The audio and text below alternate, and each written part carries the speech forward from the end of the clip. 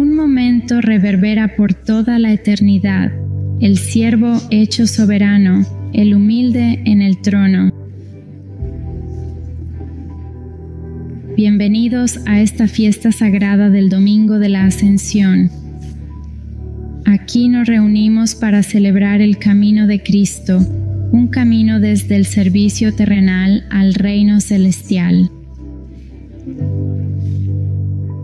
En los momentos mundanos de nuestras vidas caminó con nosotros, sanador, maestro, abriendo las profundidades sin límites del amor del Padre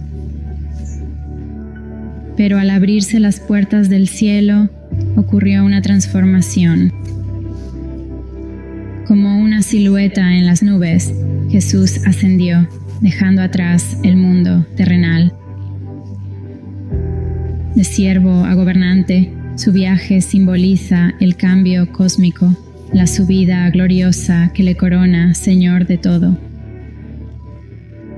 Hoy, al alzar los ojos a los cielos, estamos en reverencia, reconociendo que en la ascensión de Cristo, la humanidad de Cristo persiste en la existencia eterna.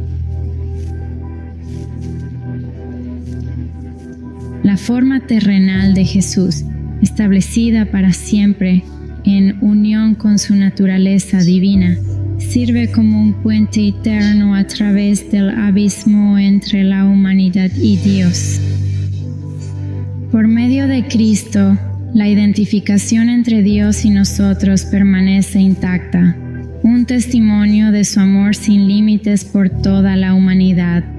En cada corazón lleno de amor por Él yace una promesa de glorificación.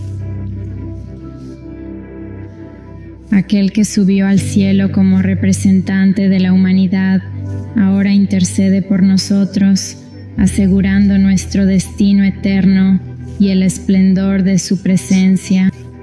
Al celebrar este domingo de la ascensión, dejemos que las palabras del Salmo 47 resuenen en nuestros espíritus. Batid palmas todos los pueblos, gritad a Dios con Cristo de alegría, porque el Señor Altísimo es temible, el gran Rey sobre toda la tierra, sometió a las naciones debajo de nosotros a los pueblos bajo nuestros pies. Él escogió nuestra herencia para nosotros, el orgullo de Jacob, a quien Él amaba. Dios ha ascendido en medio de gritos de júbilo, el Señor en medio del sonido de las trompetas. Cantad alabanzas a Dios, cantad alabanzas, cantad alabanzas a nuestro Rey, cantad alabanzas porque Dios es el Rey de toda la tierra. Cantadle salmos de alabanza. Dios reina sobre las naciones. Dios está sentado en su santo trono. Los nobles de las naciones se reúnen como